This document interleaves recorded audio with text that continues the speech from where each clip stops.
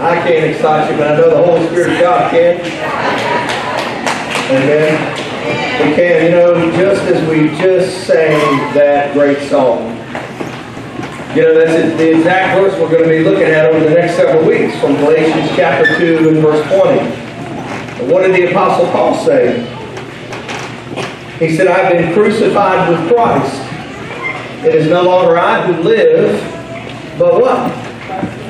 But it is Christ that lives in me. Man, that is so important because, you know, with that, if Christ is living in you, and dear friend, you're not going to be unnatural, you're not going to be natural, you're going to be supernatural.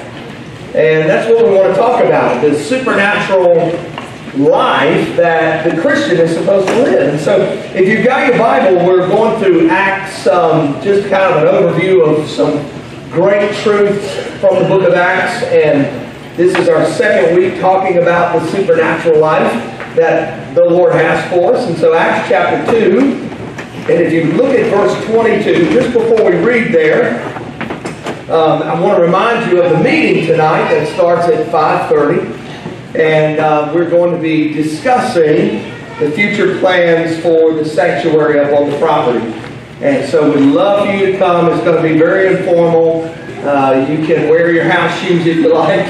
And uh, very informal, we're going to be talking about um, just a dream for the sanctuary. And so if you would come and just say, hey, here are some ideas that I have. This is what I would like to see. Uh, that would be a real blessing. That's what the meeting is all about, is for you to bring your ideas and share those ideas.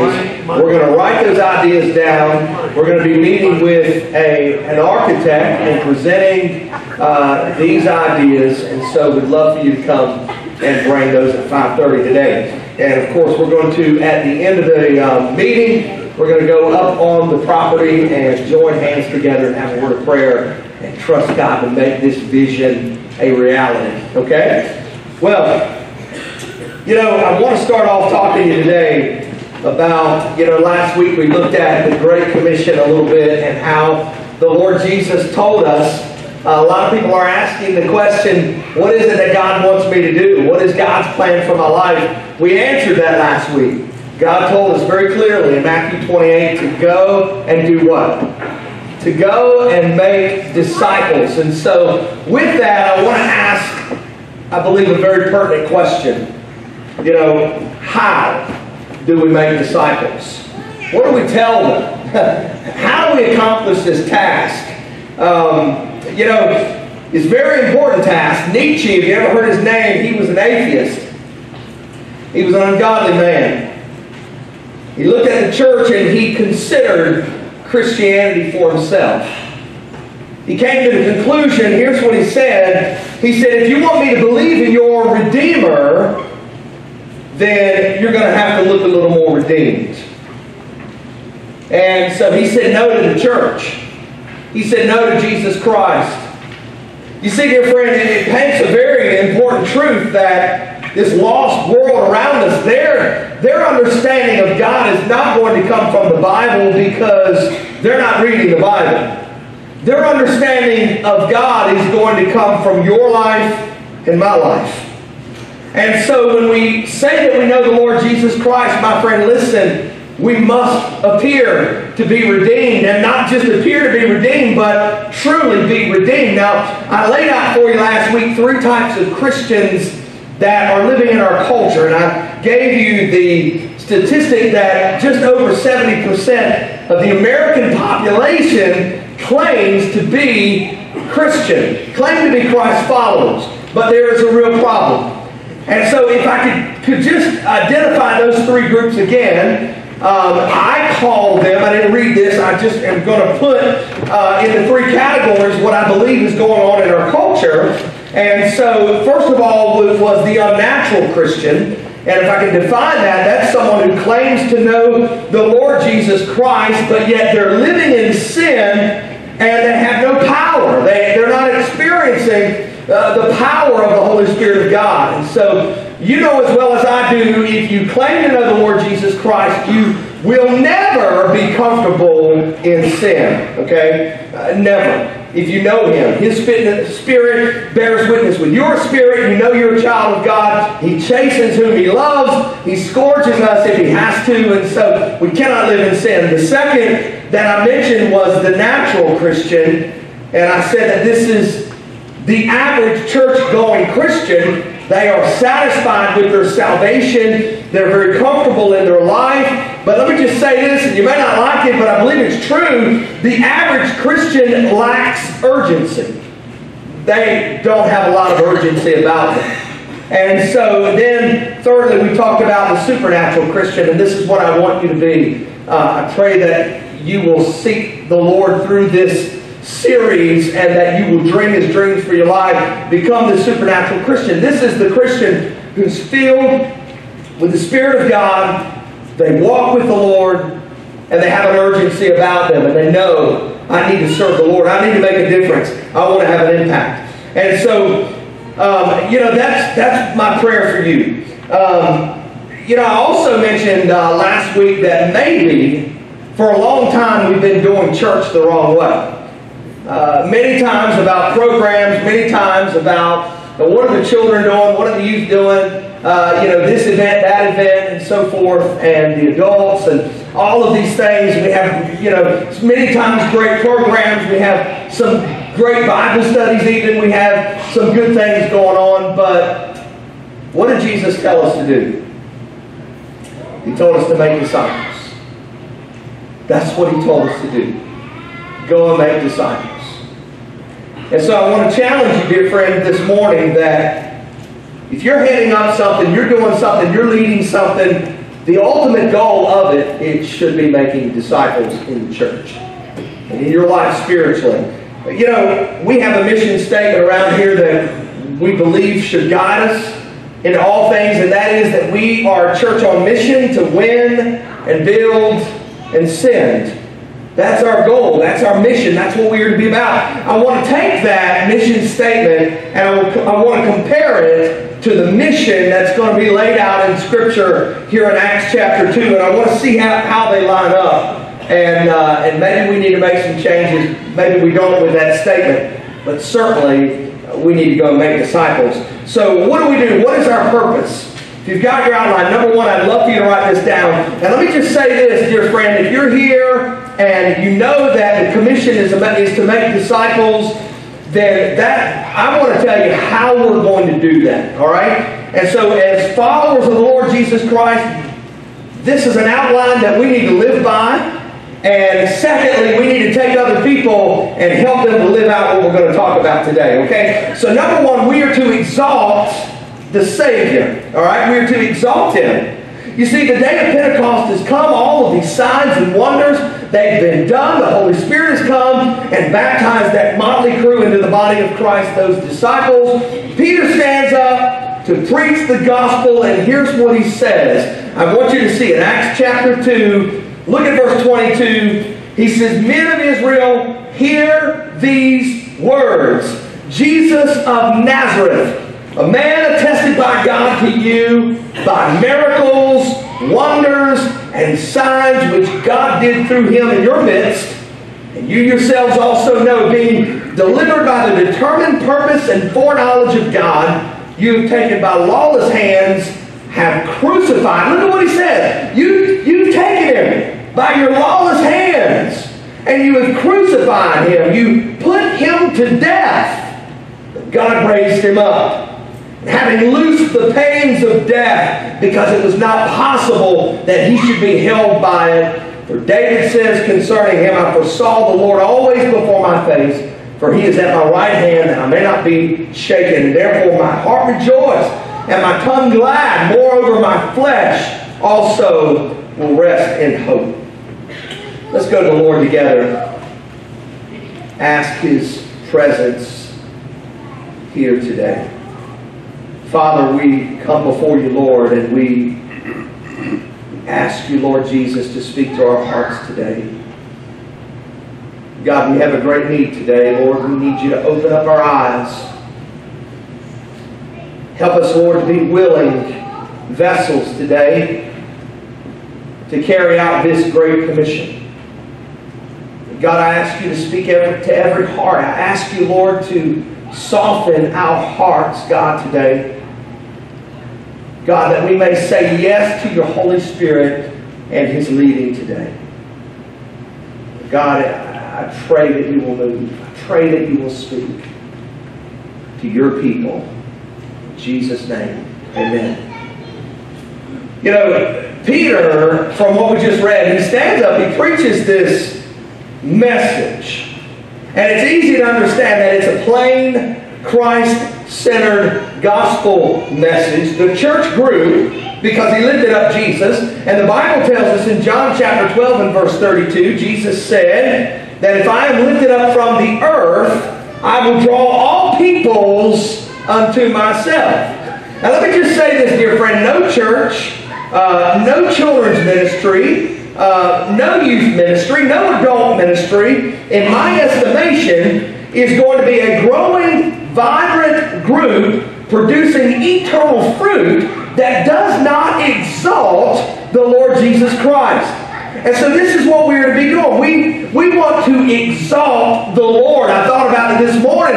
We don't want to come here and sing any songs that a Unitarian could enjoy. We want to sing songs about Jesus. We want to lift up and exalt his name. And let me just say this every church service, we should come to exalt the Lord Jesus Christ. I believe every activity that we do as a church should be to exalt the Lord Jesus Christ. I believe that. I pray that you believe that. And so let's look at the message that Peter preached concerning Jesus. It's a simple outline. I'd love for you to write this down. Uh, he shares the message that we need to be sharing with this lost and dying world around us. And so, first of all, letter A here, Peter preached about the manner of his life, the manner of the life of Jesus. Look at verse 22, if you will. He said that he was a man attested by God to you by God by miracles, wonders, and signs which God did through him in your midst, as you yourselves also know. You know, someone wrote this about the manner of the life of Jesus, and he said, I am far within the mark when I say that all of the armies that have ever marched, and all of the navies that were ever built, and all of the parliaments that have ever sat, all of the kings who have ever reigned, put them all together and they have not affected the life of man upon this earth as powerfully as the one solitary life of the Lord Jesus Christ. And you know what? I believe that's true. Jesus Christ has affected a lot of people's lives, and He is affecting people's lives today. Some of you are here this morning, and you could stand and say, I love the Lord Jesus Christ with all of my heart. Yes, He's very real to me. And so we are to exalt him. The manner of his life Peter preaches about, but I want you to notice letter B, the meaning of his death. Look at verse 23.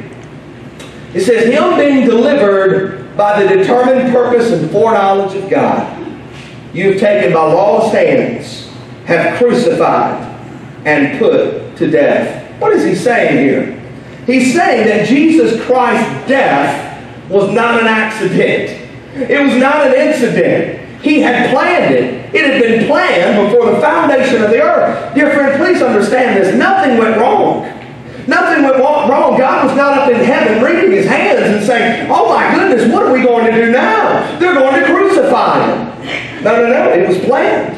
And you see, the purpose of the cross, as we learn from this message that Peter preaches, is substitution.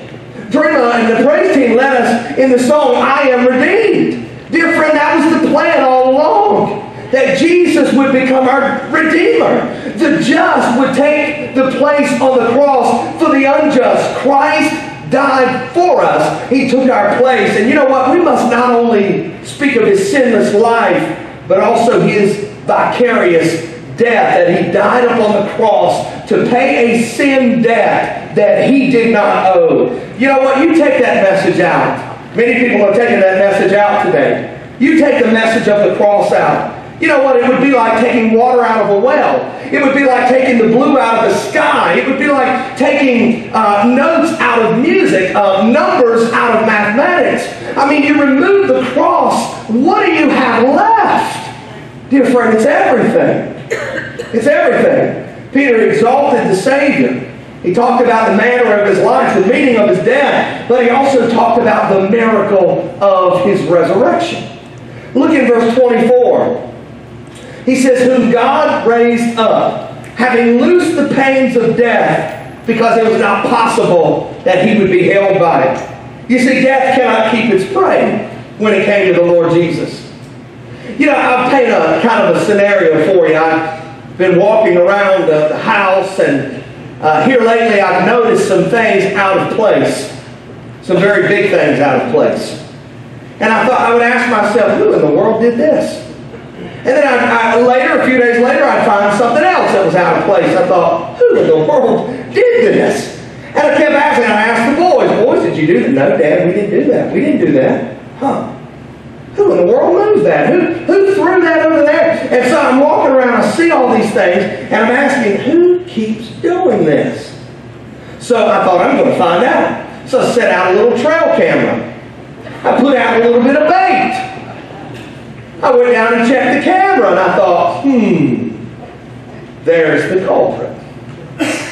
I pictured, had these pictures of this big black bear. He's messing with the honeybees, he's messing with all kinds of things.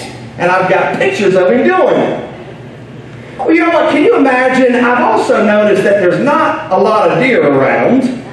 I'm finding all of these turkey feathers all around.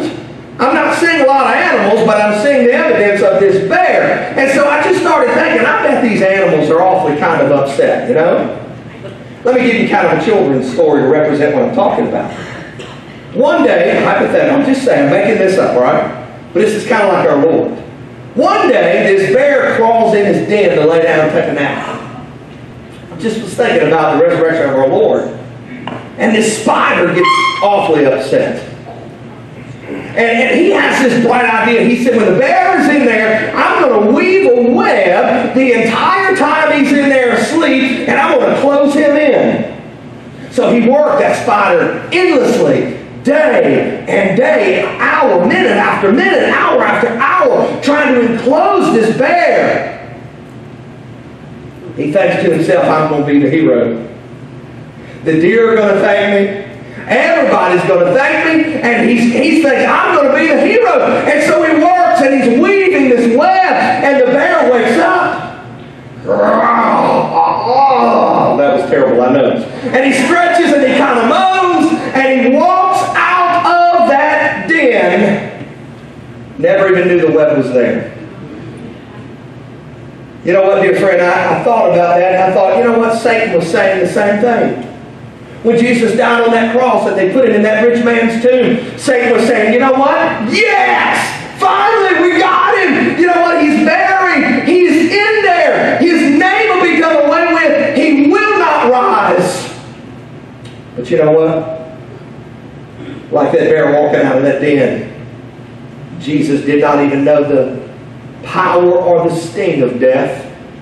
He walked out of that den like the web wasn't even there. You see, up from the grave he arose in a mighty triumph over his foes. Dear friend, the miracle of his resurrection. People, listen, Peter preached about it. You must tell others about it. Then, the, then Peter preached about the magnificence of his reign. Look at verse 33 to 35. It says, Therefore, being exalted to the right hand of God and having received from the Father the promise of the Holy Spirit, he poured out this which you, know, which you now see and hear. For David did not ascend into the heavens, but he says himself, The Lord said to my Lord, Sit at my right hand till I make your enemies your footstool. I don't know about you, but I love that word until. That little word tell, you know, in essence, where is Jesus right now? He has ascended into the high hills of glory. What is he doing? He is seated at the right hand of the majesty on high. You see, Peter is preaching on this day that Jesus is exalted, that he is Lord of lords, that he is King of kings. You see, dear friend, you sat here today, maybe you're not a believer. But I want to tell you, dear friend, with all of the unction, all of the function, and the emotion of my soul, that one day you will confess to the glory of God that Jesus Christ is Lord. The Bible says that every knee will bow and every tongue will confess that Jesus Christ is Lord. So I have a question for you today. As Christ's followers, what is your duty? What is your privilege? What is your mandate? What is your joy? You see, it first of all is to exalt the Savior. Dear friend, would you do yourself a blessing? Would you take this thought and examine your life and, and pray? Say, Oh God, how? In what manner can I exalt you greater than I am? Lord, how can I praise you greater than I have been? Lord, how can I live for you and make much of you and worship you and exalt you in ways that I am not? Let me give you the second truth we find here from Peter's sermon. Instruction to the church. We see that we are to, number two, we are to evangelize the sinner. You see, go and make disciples. Part of making disciples is to evangelize, to share with them the good news. Dear friend, I have a question for you. Jesus Christ, we sang about it this morning. Is he good news? What he did for you on the cross is that good news. How he saved you from that old man, how he has birthed inside of you a new man. That new nature is that good news. Oh, dear friend, that is good news. Look at verse 37. Now, when they heard this, they were cut to the heart and said to Peter and the rest of the apostles, Men and brethren, what shall we do? You see, let me just tell you what true evangelism is. Let me give you the marks of it. They're right here. What are the steps to a true conversion? When someone, please don't miss this, this pertains to you, this pertains to everybody. What are the steps that take, take place when someone comes to the Lord Jesus Christ to be saved? What are the steps? Well, see, letter A here under number two. First of all, people must be convicted by the Lord. People must be convicted. Look at verse 37. When they heard this, they were cut to the heart. Did you see that? You ever been in a worship service where people began to weep? Where people began to cry, where people began to tremble because of the moving of the Holy Spirit of God, where the Holy Spirit of God so grabbed their hearts? You ever been a part of something like that? You know, yesterday my wife and I went and uh, I asked her on our way, where do you want to go? Whoops. I asked her, I said, where do you want to go? Do you want to, I know you've got some things to do. Do you want to go to Marshall's or do you want to go to Ross? She said, I want to go to Ross. I said, why not Marshall's? She said, well, I'm looking for a certain something. I think I'll find a better deal at Ross. I said, let's go to Ross. and so we went into Ross. I want to tell you something. It was all by divine appointment. I saw this lady at a distance. I used to be her youth pastor. And she was kind of walking to me, but it was like she didn't know who I was. And I said, Hey, I know you. It's been almost 10 years. And she looked at me and she said, She came over, she gave me a hug, and I asked her this question. I said, Are you still growing in the Lord? That was the first words out of my mouth. She began to cry. She began to weep. I thought, oh my goodness, what have I got myself into? And she began to share with me her struggles, share with me about her life. I looked at her, I said, I want to tell you something. God allowed us to bump into each other today. God's got a plan of and He's going to work in your life. My wife walked up and we were able to console her and talk to her. And my wife got her phone number. And so we're going to follow up with her. Dear friend, let me tell you something. What was that?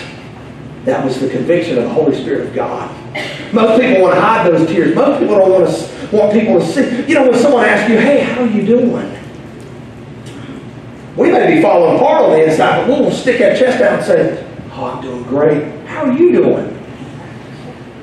She didn't do that because the Holy Spirit of God convicted her. And I want to tell you something, dear friend. People must be convicted by the Lord. Amen? Let me give you the second thing. Not only in a true conversion, not only is there conviction, but then people must be converted to the Lord. Look at verse 38. Peter said, Repent and let, let every one of you be baptized in the name of Jesus Christ for the remission of your sins, and you shall receive the gift of the Holy Spirit. Now, there's a key word here. Peter says, Let every one of you. Repent Repent of your wicked ways. Repent of that immoral lifestyle. Repent. That's what he's saying. What does repent mean? Repent means that you have a change of mind about a few things. I want to give you three of them, okay? You, you write this down if you would in your outline. Number one, you have a change of mind about sin. You see, when you repent and you come to the Lord Jesus Christ for salvation, you have a change of mind about sin. Let me tell you, you've never been saved if you haven't, haven't had a change of mind about sin, you've never been saved. Jesus said in Luke chapter 13 and verse 3 Except you repent, you shall likewise perish. Dear friend, there is a change of mind about sin, but you know what else? You have a change of mind about yourself. You have a change of mind about yourself. You understand, you know what? I don't have what it takes to overcome this sin. I don't have what it takes to have the peace in life that I need. I don't have what it takes in and of myself to do what it is that God wants me to do. And so you learn no more confidence in the flesh. You have a change of mind about yourself. You know what else? You have a change of mind about Jesus Christ. You understand He's my only hope. And you put your faith where God has put your sins upon the Lord Jesus Christ. And dear friend, when, when this transpires, there is conversion. But then what happens? Look at letter C here. Thirdly, you must make a confession of the Lord. Acts 2, verse 38. Look at it with me, if you will.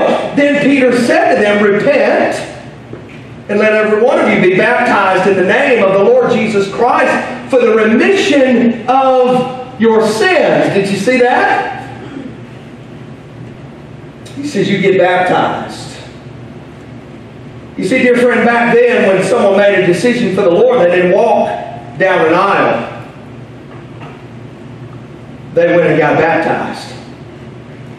When someone said, you know what, I want to follow the Lord Jesus Christ, I give my life to Jesus, their method of making that known was baptism.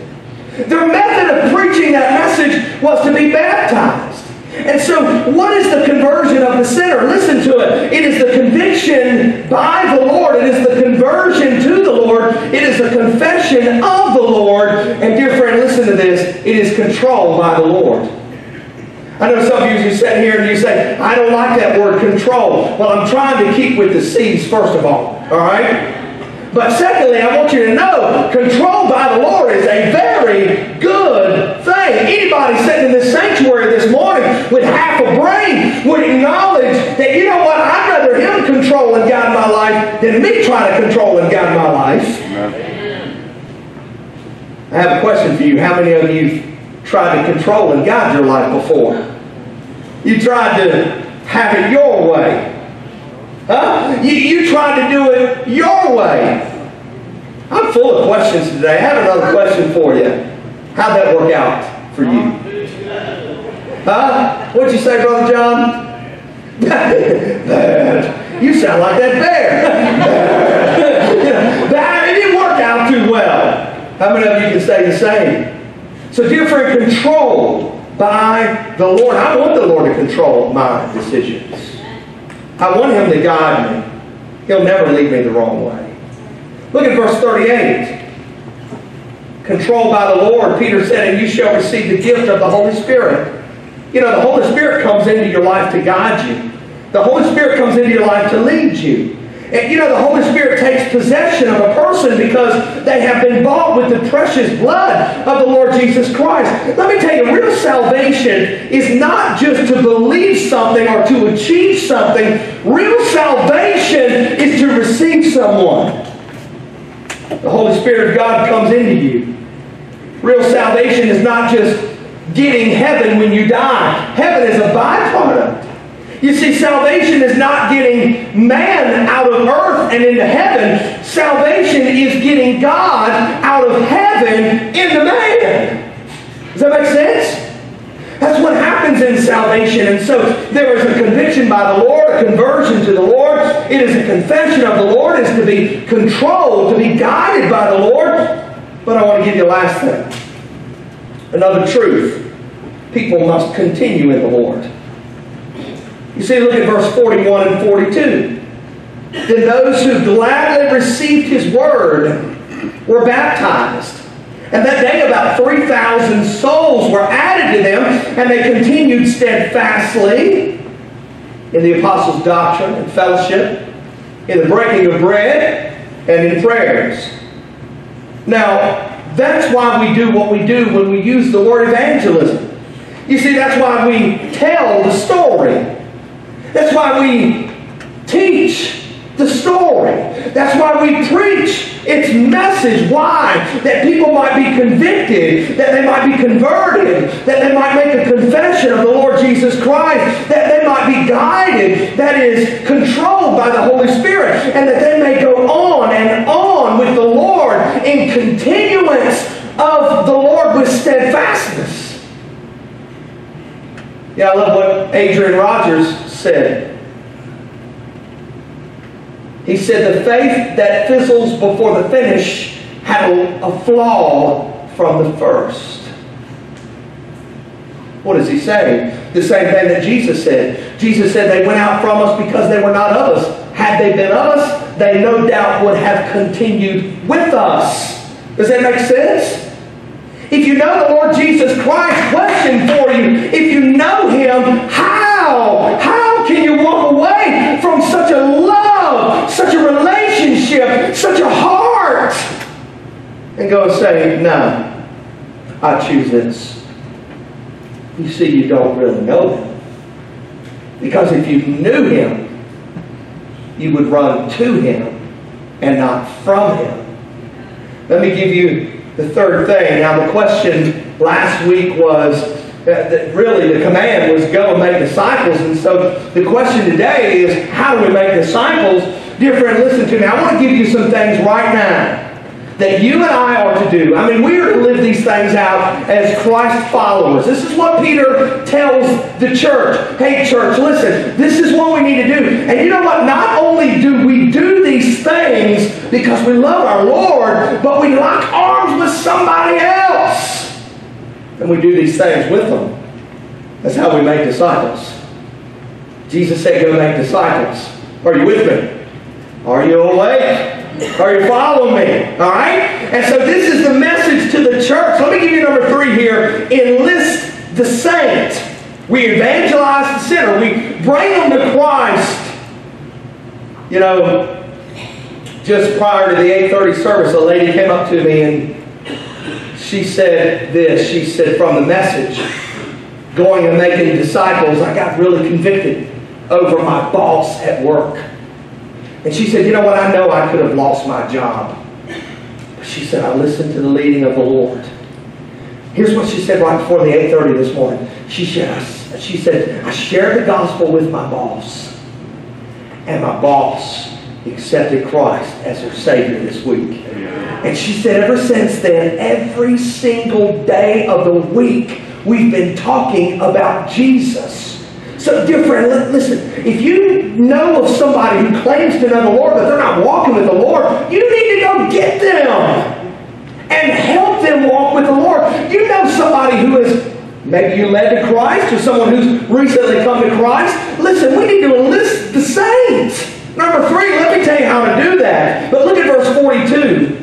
Once they got saved, once they came to Christ, what did they do? What do we do? What are we supposed to do as Christ followers? Look at verse 42 again. They continued steadfastly in the apostles' doctrine and fellowship and in the breaking of bread and in prayers. Dear friend, listen, great churches are Bible-centered churches. Great Christians, those who follow the Lord and build a great Christian life, they are Bible-centered people. The text here tells us, verse 42, they continued in doctrine. Did you get that? He said that's just another way of saying they continued in the Word of God.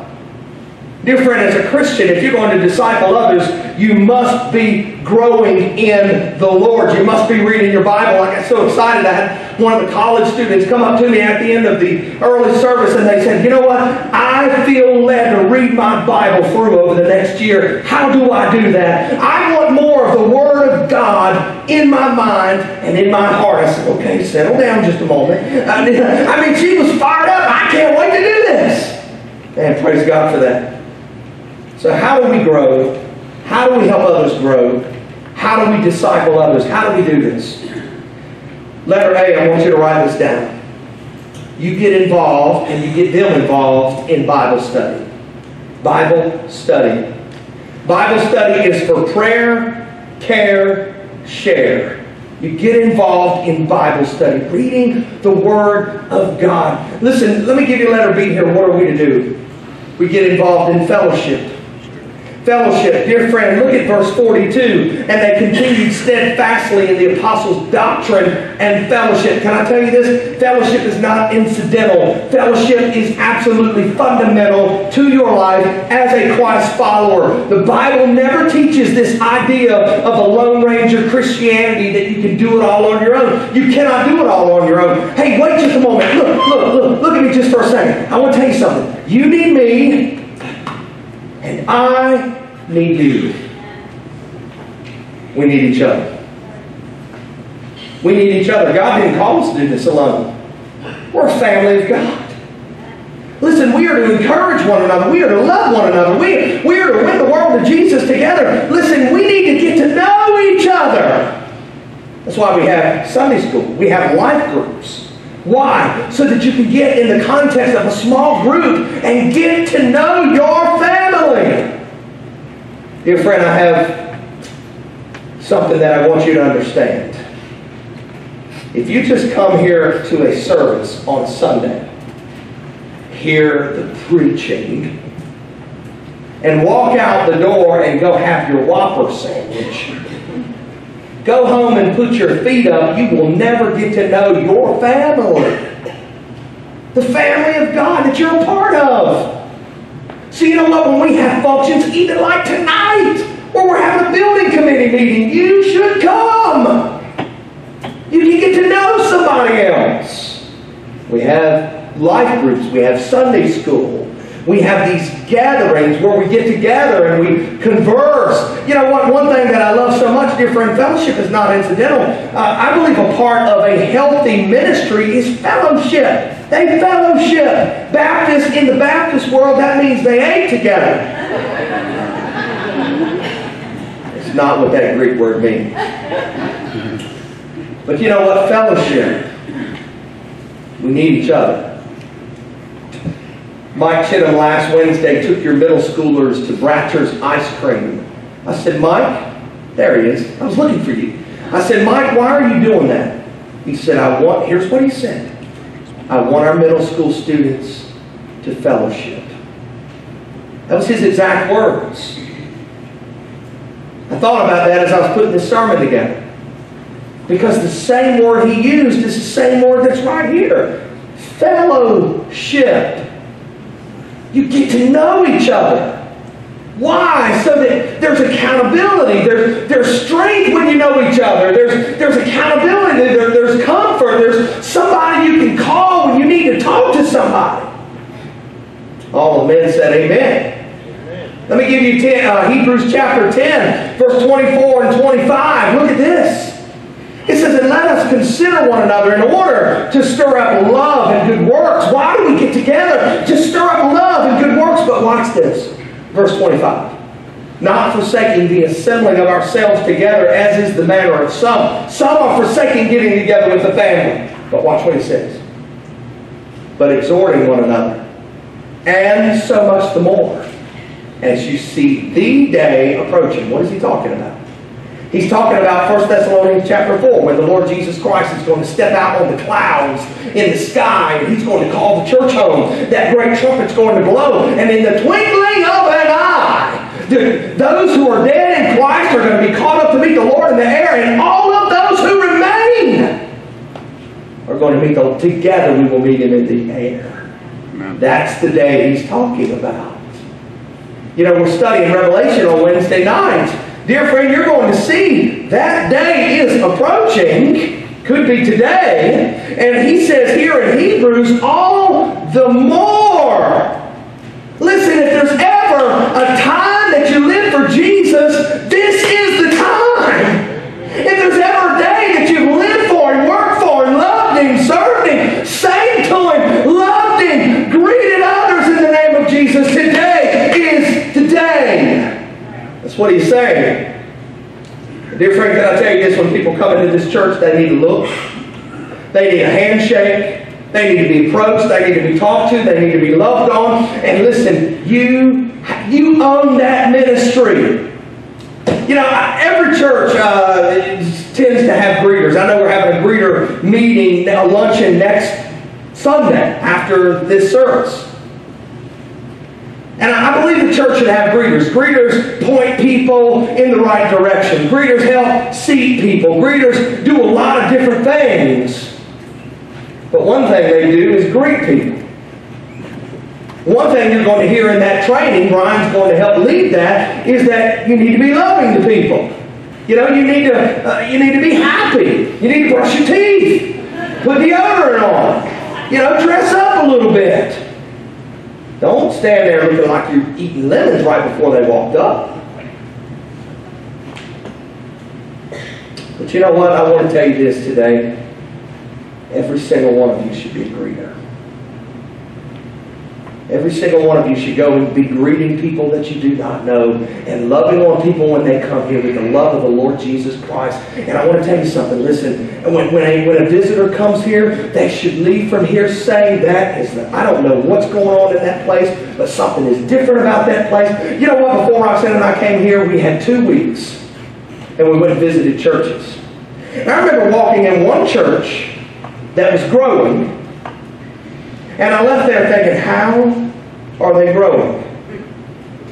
Because you know there was only one person that shook my hand and said hello. You know who it was? It was the pastor at the front door when we were leaving. Dear friend, that should not be us. It cannot be us. You know what? We need fellowship. We need small groups. We need to be a part of them. We enlist people in these things. We have fellowship activities. We just, the marriage class just went, to, I mentioned Mike, we just went to Mike's house. We had a day in the lake, the marriage ministry, and we grilled out, we played cornhole, and, and we, we did these things. We fellowship, we love, we encourage one another. We must be doing these things. And when you do them, you invite people to come with you. That's called discipleship. Let me give you another truth here. We enlist people in Bible study, in fellowship, and in worship. Look at verse 42. And they continued steadfastly in the apostles' doctrine and fellowship, and in the breaking of bread, and in prayers.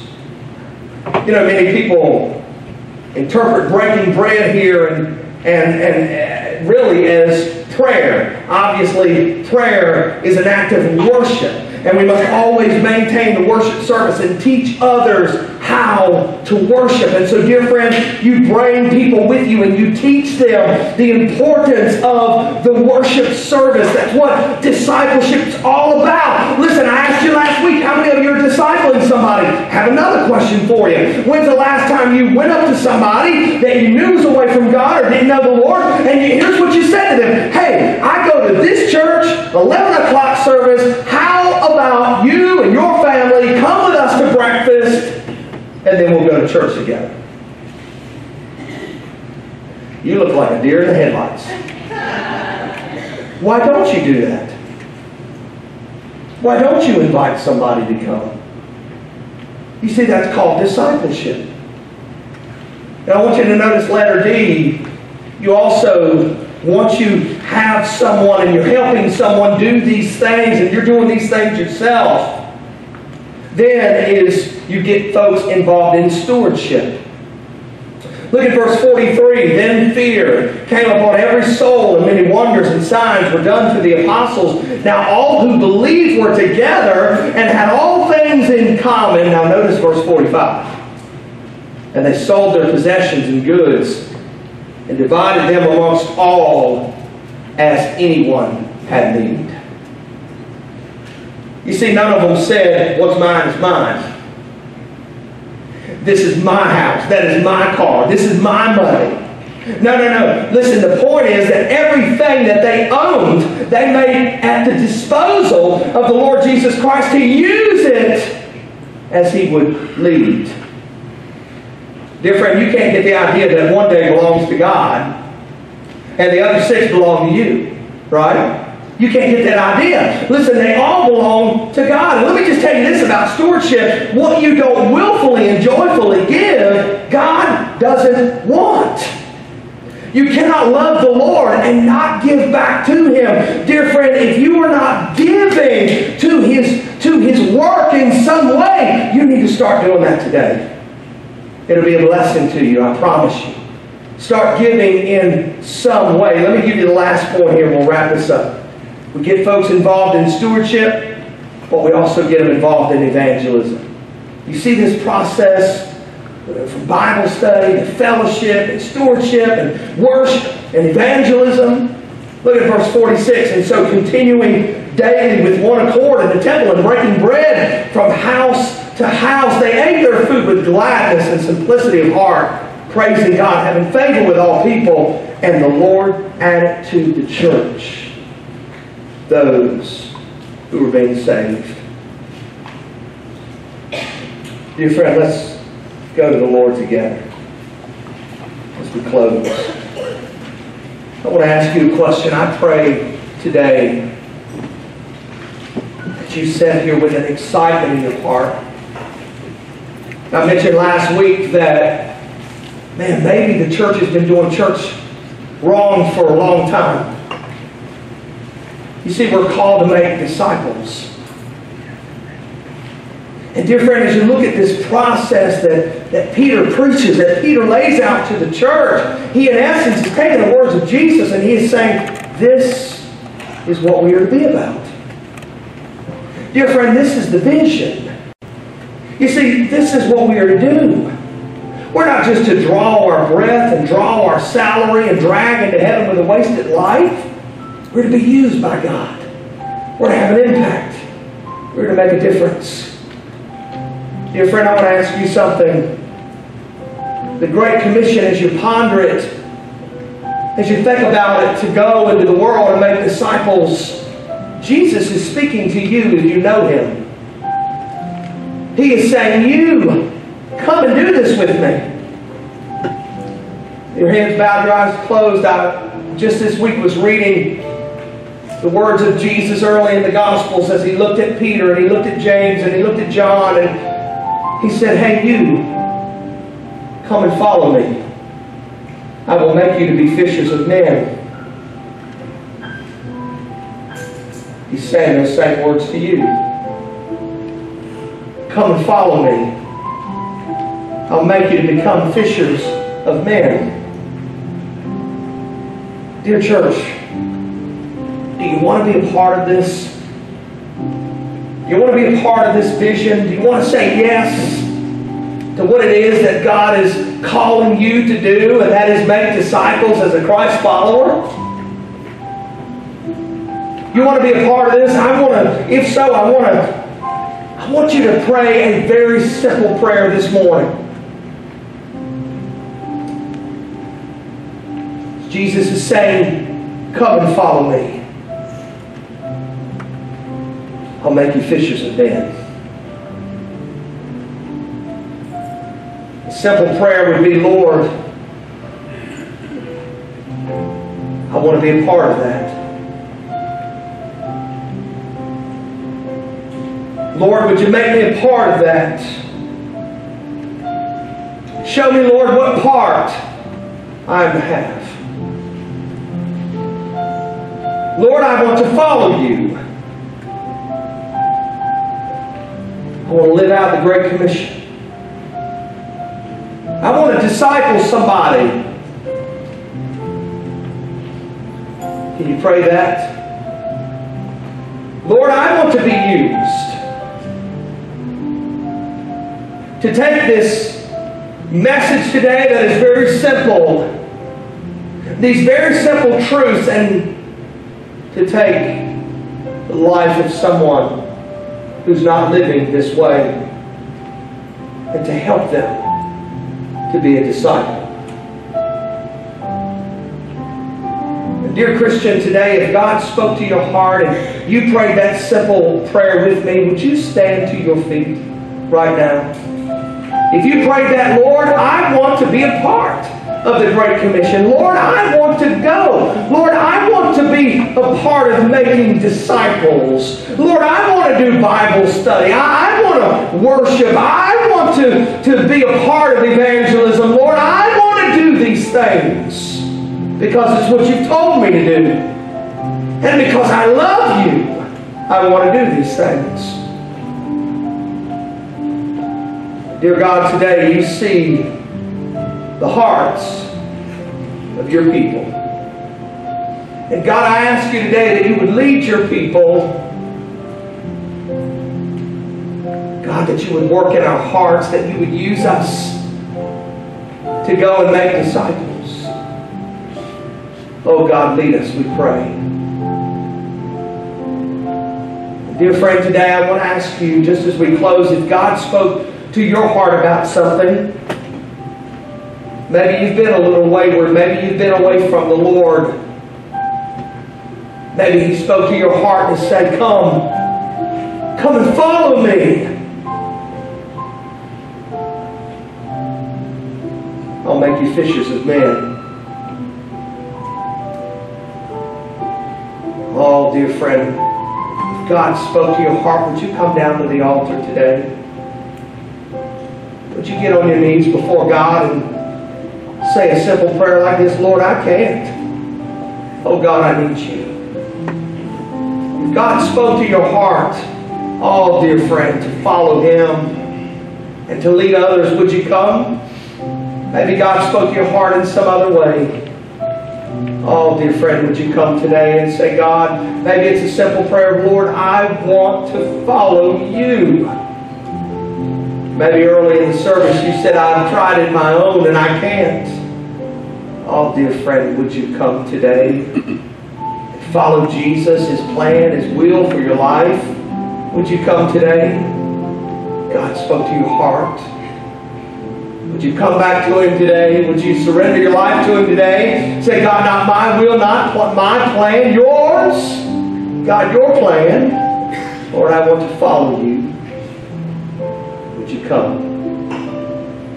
God spoke to your heart. Father, I thank you today for speaking to hearts. I thank you that your church would be sensitive, God, to your dealing with them. And Lord, I pray that you will lead your people, oh God. Lead this church, dear Lord, to make disciples. Oh God, use this church, use your people, God, in this community, in this town. Oh God, I pray that you will. Help us to make a lot of noise for you, Lord. That we might win others. We might fulfill the Great Commission. That we might live your plan for our lives. It's so much better than our own plan. Oh God, lead us in it. It is in your name we pray these things. Brother Brian Fagan, would you close us today? Thank you, brother. Heavenly Father, we, uh, we thank you for today. We thank you for a chance to get together and learn more about you and your plan for our lives. We just ask that you give us the strength and the boldness to go out and be who you called us to be, to win others to you and to walk with them and point them to you, Lord. Help us to be a peculiar people, as Peter put it, different from the rest of the world, so that the rest of the world will look at us and want what we have, and what we have is you. Just help us to live that out the rest of the week, and bring us all safely back here again, we pray in Jesus' name. Amen.